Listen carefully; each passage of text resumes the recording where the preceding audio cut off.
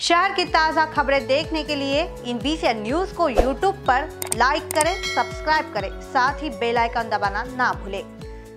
अगले पंद्रह दिन कोविड 19 के संदर्भ में नागपुर शहर के लिए बहुत महत्वपूर्ण है। यदि आप इन पंद्रह दिनों में नियंत्रित नहीं करते हैं तो आपको अगले पंद्रह महीनों तक ऐसे ही रहना होगा। नागपुर नगर आयुक्त तुकाराम मुंडे ने पिछले दो दिनों में एक विशेष क्षेत्र में रोगियों की संख्या की वृद्धि की पृष्ठभूमि के खिलाफ प्रतिबंधित क्षेत्र में पुलिस सुरक्षा और प्रतिबंधों को कड़ा करने के लिए पुलिस आयुक्त और वरिष्ठ पुलिस अधिकारियों के साथ बैठक की है। पुलिस कमिश्नर भूषण कुमार उपाध्याय, संयुक्त पुलिस आयुक्त रविंद्र कदम, अतिरिक्त पुलिस आयुक्त शशिकांत महावरकर, पुलिस उपायुक्त राहुल माकनीकर, पुलिस उपायुक्त श्वेता खेड़कर, निगम के अतिरिक्त आयुक्त जोशी, उपायुक्त निर्भय जैन, चिकित्सा स्वास्थ्य अधिकारी डॉक्टर योगेंद्र सवाई अपर चिकित्सा स्वास्थ्य अधिकारी प्रवीण गंटवार, सतरंजीपुरा जोन के assistant commissioner Vijay Injhan Dhantoli zone के assistant commissioner Kiran Bagde, Nehru Nagar zone के असिस्टेंट कमिश्नर स्नेहा करपे मौजूद थी।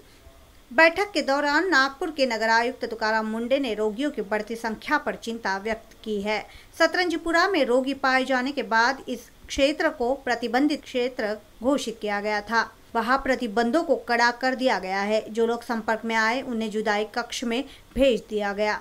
इससे आज स्थिति नियंत्रण में आ गई है। हालाँकि पिछले दो दिनों में रोगियों की संख्या सदी को पार कर गई है।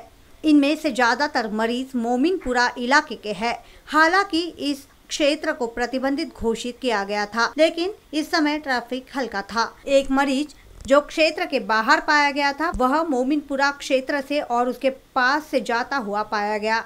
यह मामला बहुत गंभीर है। यदि अन्य नागरिक भी ऐसा करते हैं तो उसे अब बर्दाश्त नहीं किया जाएगा। नगर पालिका अधिकारियों से पुलिस के बीच समन्वय होना चाहिए। इस समन्वय से एक प्रवेश द्वार को छोड़कर पूरे क्षेत्र को सील करे कड़ाई से आयुक्त तुकाराम मुंडे ने निर्देश दिया है। अगर कोई शिकायत है तो यहाँ करे। यदि क्षेत्र प्रतिबंधित है और कोई भी कुछ शिकायत के कारण छोड़ने की कोशिश कर रहा है तो उन्हें नागपुर नगर निगम के नागपुर लाइव सिटी ऐप को डाउनलोड करने के लिए कहे। यदि कोई अन्य समस्या है तो नगर निगम के नियंत्रण कक्ष को कॉल करे और जानकारी के लिए पूछे, नगर आयुक्त तुकाराम मुंडे ने कहा है। इसीलिए सीधे जुदाई कमरे में जाए। नागपुर नगर निगम द्वारा प्रतिबंधित क्षेत्र में किसी को प्रवेश या छोड़ना नहीं चाहिए। वह जो भी स्थिति है, अगर वह पुलिस के साथ बहस कर रहा है तो उसे सीधे अलगाव कक्ष में भेज दे। आयुक्त तुकाराम मुंडे द्वारा यह कहा गया। नागरिकों को एक भावनात्मक अपील और चेतावनी भी की है। एक नागरिक द्वारा आपातकालीन सेवा में एक कर्मचारी की पिटाई का मामला सामने आया, जो बहुत बुरा है। यह नागरिक के लिए दुर्भाग्यपूर्ण है, जो बिना किसी कारण के आवश्यक सेवा में किसी व्यक्ति से मारपीट करता है। कम अपनी पूरी क्षमता के लिए मत जाओ।